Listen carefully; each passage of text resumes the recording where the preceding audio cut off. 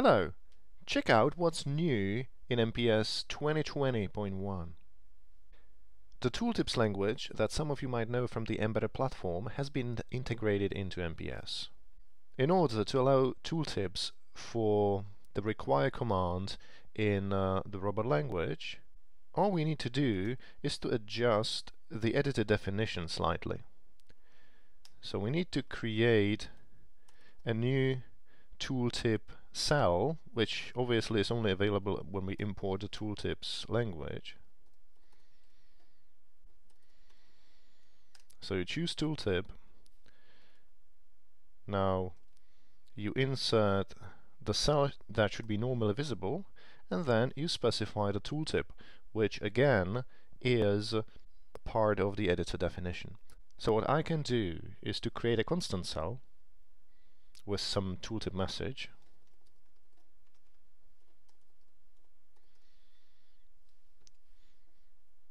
rebuild. And well then if I hover my mouse I get a tooltip.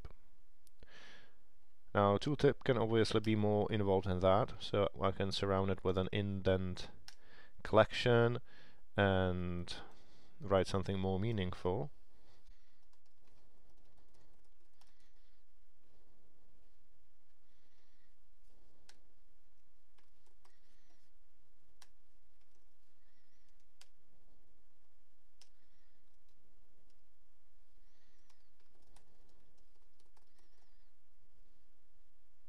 again rebuild and uh, you know we should immediately see the effect of this.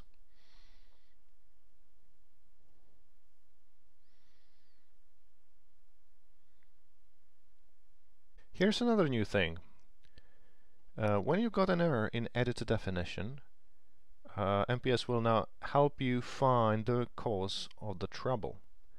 If I change the editor definition for, for a while statement, for example here, in the query for a new line will throw an exception.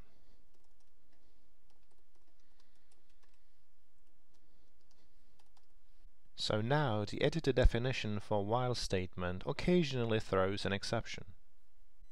When that happens, the errors are listed in the messages view and since the editor definition is broken it can't be used so instead the reflective editor is used to um, project the, the particular node on the screen. So you can see a reflective editor is being used here for the while statement and down here we've got errors. If I click on the error it will navigate to the piece of code that causes the editor to fail and you can also right click and analyze stack trace and you get clickable stack trace showing you where exactly the problem happens. If I clicked over here, click uh, over here, I get to my throw statement that obviously causes the problem in this case. You probably know that collections can have separators defined, so that when you have a collection like here, that lists all routines that should be imported, they can be separated with a custom separator, a comma in this case.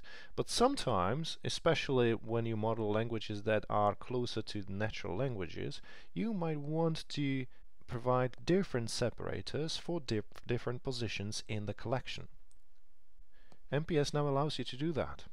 So for this collection, I can go to the separator and in, instead of hard coding a comma separator, I can choose a query and then just detect if the next node, so the node that will be behind the separator I'm now returning, if it has no next sibling, then that's the last one in the collection. So I want to use separator end. Otherwise I want to use comma. Notice the space mm, in front of end. That's because I don't want end to be attached to the left node. I want it to be separated from, from both the left and the right node that it is separating. So back to here.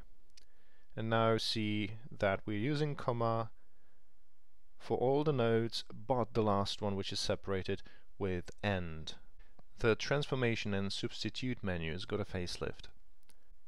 Now when you want to create a new transform or substitute menus, notice The options are slightly different than they used to be. The old options are deprecated. Now you can create new substitute menus, transformation menu, or contributions. You no longer distinguish between a named menu and a default menu in here. So you simply create a transformation menu, you choose the concept, and then you choose the type, default or named. If you choose default, it becomes a default menu for that concept. If you choose named, you provide a name and, and you're done. The next new feature I want to show is called type over existing text. It looks like a small feature, but it improves usability of the projectional editor a great deal. Look at this. Now I'll just be typing without any control space, code completion, or uh, you know any other assistance from the editor. I just type repeat five times enter.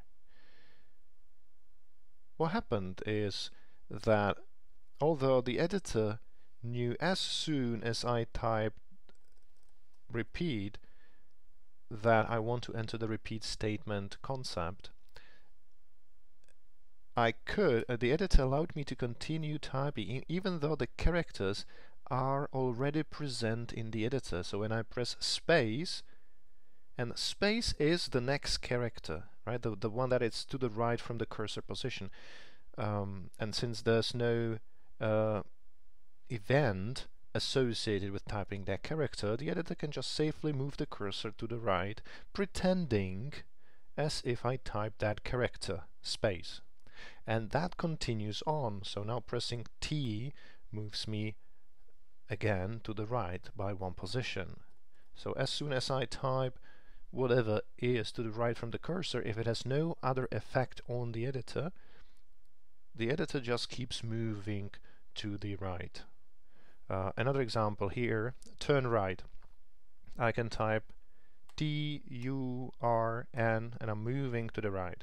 Now I decide to press Control Space and I choose whichever turn command I want to insert into the um, you know into my code. Another example, this time from base language, if I have a variable a 10 pressing semicolon you might have that habit of pressing semicolon. Now it doesn't result in an error it just accepts that character and moves the cursor to the right. This feature can be turned on and off in in the settings. So in the editor general type over existing text you can turn it on and turn it off as you wish. So with the feature turned off, pressing a semicolon results in an error here. Typing, typing turn results in an error here, although you can still go complete, so you know it's not that bad.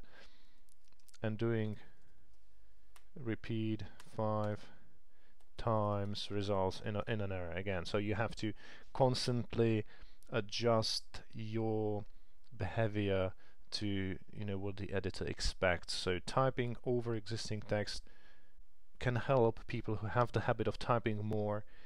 I personally like this feature a lot, but the MPS gives you the option to choose whether you want it or not.